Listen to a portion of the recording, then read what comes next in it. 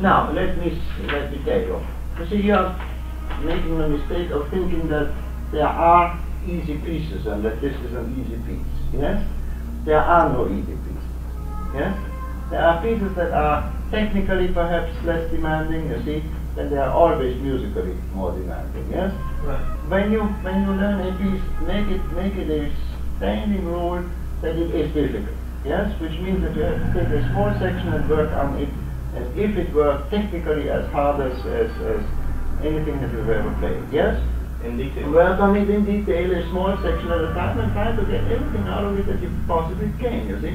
And uh, just, just pushing keys down, um, sometimes the right ones, sometimes the wrong ones, I mean, that is, that is a waste of time, you see? Uh, uh, so I'm, I'm in favor of acting as if it were difficult and taking small sections and working them out and, and, and getting the last drop of juice out of them, you see, which means expression, feel, everything, you see, whatever, whatever you do.